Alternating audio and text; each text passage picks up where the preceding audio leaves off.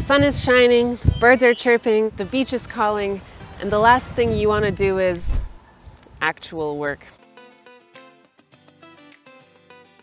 So I'm here to give you some tips and tricks on how you can up your productivity levels in the summer. Number one, set clear goals and objectives. One of the main things that will help you focus is to set clear goals as to what tasks you want to accomplish, rather than trying to get everything done at the same time multitasking. Kind of like having a coffee and trying to balance on a balance board at the same time. It just ends up being a big mess. So here's what you have to do. Step one, write down all of your tasks, everything that comes to mind. Step two, sort them according to priority. Step three, break each of those down into smaller actionable items. Step four, assign time for each of those steps. That way, you'll know exactly what your next task is at any given time, your bigger goals will feel achievable, and you'll just end up having a better time. Two, switch up your workplace.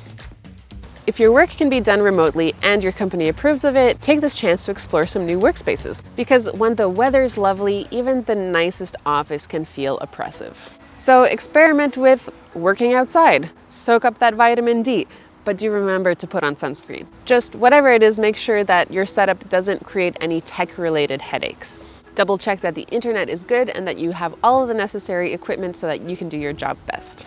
If working from home isn't an option, how about changing up your space within the office itself? If you have a one-on-one -on -one meeting where computers aren't necessary, how about turning it into a walking meeting? Fresh air and a new environment gets those creative juices flowing and the more relaxed atmosphere might lead to better, more in-depth conversations. Number three, shorten your work week if you can.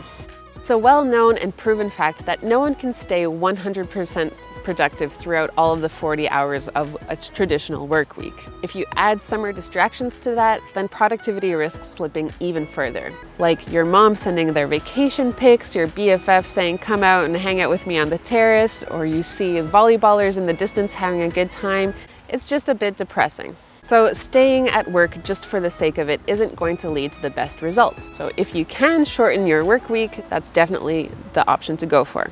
At DeskTime, the company policy is that during the summer months, you can cut down your Fridays by two hours, provided you've completed all of your tasks. This is great motivation to finish your tasks up earlier so that you can get started and have a longer weekend. So send your mom photo from the beach, have a happy hour with your friend, grab a nice lunch with your bestie. If you're your own boss or if your company supports this, how about taking the entire day off? Trying out a four-day work week is one of the hottest trends right now. But don't go overboard. Everyone has to come back to the office at some point.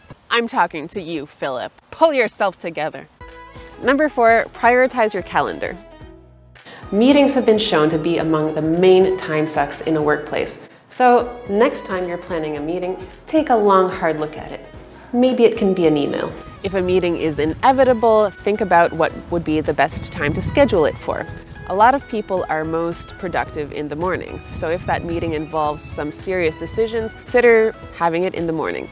Meanwhile, if it's more of a brainstorm, then you might leave that to the afternoon when people's serious thinking is depleted and then can just jump around with some fun ideas. You can also try to implement meeting-free days. So for example, on Wednesdays, you schedule no meetings at all and dedicate that day just to deep work. Number five, set an optimal temperature. Fights over the office thermostat have been going on forever. Because let's be honest, it's really difficult to get anything done when you're dripping with sweat. Experts say that the ideal temperature for an office is between 21 and 24 degrees, but this can vary from person to person. What you can try to do is try to make sure that there's an AC or a fan close to you that you can regulate based on your own needs. Now, if ACs aren't an option at all, you can also opt for a refreshing cold beverage. Number six, update your office routine. If you feel like you're getting into a rut, consider switching up your morning or evening routines. If your commute allows it, try trying a new route to the office. Or if you always drive by car, consider biking or walking. You're taking public transit for a change of pace. You can also experiment with switching up your lunch times or any other routines that have become part of your day to any mundane degree. So switch things up and see what happens. If nothing else, you'll learn what not to do. Number seven, take time off to disconnect from work. Make sure that it really is time off. To do that successfully, do all of the prep work necessary, like divvying up your responsibilities around with your teammates, setting up your out of office automatic emails, all of that stuff. That way you'll have the peace of mind knowing that while you're on vacation, things won't be falling apart at the office. When that's done, close your laptop, turn off your work phone, snooze your LinkedIn account, throw out your keys, put on your swimsuit, and au revoir. And number eight, track your productivity. What's a productivity video without a little bit of shameless self-promotion, isn't it? You can use a tool like DeskTime to track your productivity throughout the day, the week, the summer, so that you can do all of the planning that I was talking about earlier in this video.